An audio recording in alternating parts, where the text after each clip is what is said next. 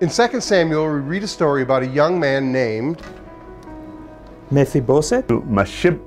Mephibosheth. Mephibosheth. Thank you, Ellie. Mephibosheth. Mephibosheth is a lame young man who is hurt when he was fleeing after the death of his grandfather Saul. And in these days, if there was anyone left of the lineage of a former king, he was to be put to death. You see, we couldn't have somebody of the lineage of a former king that could potentially rise up and try to stake a claim to the throne. And now, David was the king. And David had every right to put the lineage of Saul far behind him. But David says in verse 1 of our text, Is there still anyone left of the house of Saul that I may show kindness to Jonathan? Why would David want to show kindness to Jonathan? But I want us to go to 1 Samuel chapter 18, verse 3, where it says, Then Jonathan made a covenant with David because he loved him as his own soul.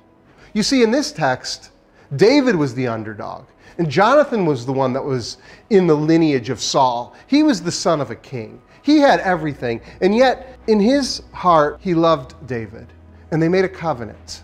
And now we see in 2 Samuel chapter 9, David wanting to fulfill this covenant that he made with Jonathan. Why should David keep this covenant? And the king said, Is there not still someone of the house of Saul that I may show the kindness of God to him? And when David asks this question, he's not saying, Look at how great I am. He's not saying, um, Look at how wonderful my relationship with Jonathan was. What he's saying is, How can God be glorified in my commitments?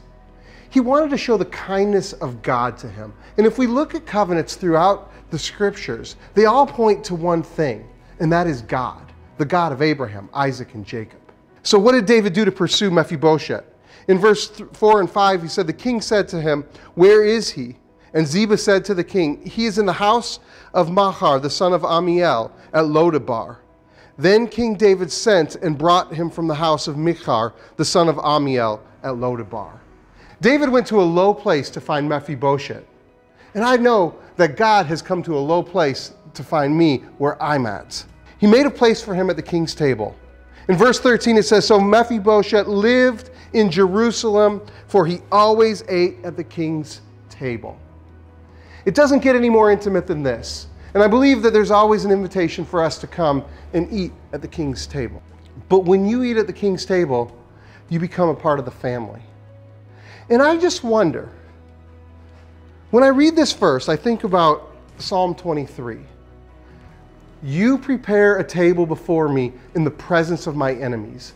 And in that moment, when Mephibosheth sat at the table, either David was remembering the way that God spoke to him when he was in the field, or it impacted him in such a way that he later penned the words you prepare a table before me. You anoint my head with oil. My cup runneth over.